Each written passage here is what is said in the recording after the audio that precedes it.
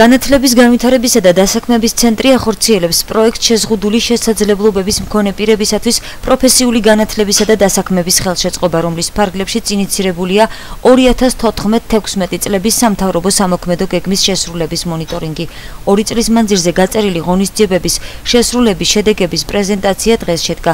შეხვედრას შეზღუდული შესაძლებლობების მქონე პირთა საკითხებზე მომუშავე არასამთავრობო ორგანიზაციები, დამსაქმებლები და უფლებადამცველები ესწრებოდნენ. ჩატარებული კვლევის შედეგად გაირკვა, რომ თავრობის გეგმაში გაწერილი აქტივობების ნაწილი არ შესრულებულა. მნიშვნელოვანია, რომ ის ვალდებულებები, რომელიც თავის დროზე იქნა აღებული, უნდა იყოს შესრულებული დროულად.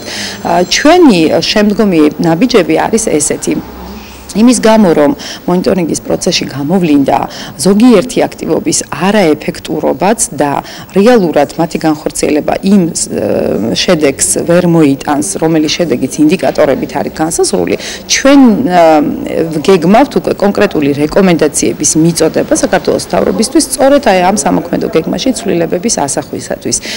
ამ ჩვენთან ერთად ამ პროცესში ჩართულია 11 არასამთავრობო ორგანიზაცია, რომლებიც ასევე შშმ პირთა უფლებების დაცვის საკითხებზე არიან ორიენტირებული და ჩვენ როგორც საინიციატივო ჯგუფი ისე გამოვდივართ ამ პროექტში მონაწილედ და ასევე უკვე ვართ ჩვენ აა მივიღეთ შემოთავაზება შრომის ჯანმრთელობის და სოციალური დაცვის სამინისტროდან ვიყოთ დასაქმების სტრატეგიის დოკუმენტის დოკუმენტზე მომუშავე სამუშაო ჯგუფის წევრები შეხვედრის მიმდინარეობისას საკუთარი პოზიცია დააფიქსირეს დამსაქმებლებმა ისინი შეზღუდული შესაძლებლობების მქონე პირთა სახელმწიფოს მიერ გადამზადების აუცილებლობაზე საუბრობენ.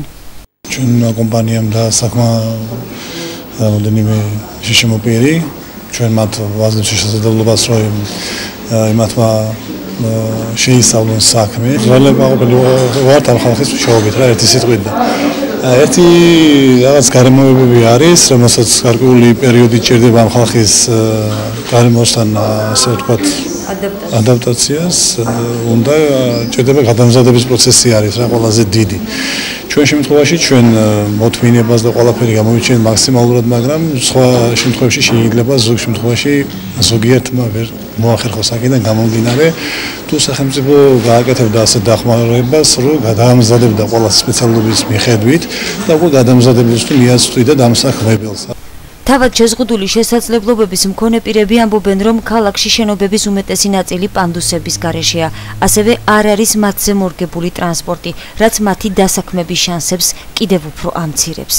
ადაპტირებული გარემო მეტნაკლებად შეინიშნება, იმიტომ რომ პანდუსები არ არის თავარი, უნივერსალური დიზაინი და არც ერთი ადაპტირებული შენობა არ არის და ამასთან დაკავშირებით ძალიან ბევრია სამუშაო და დასაქმებასთან დაკავშირებით რაც შეეხება შეზღუდული შესაძლებლობის მქონე პირები თითქმის არსად არ არის დასაქმებული რა.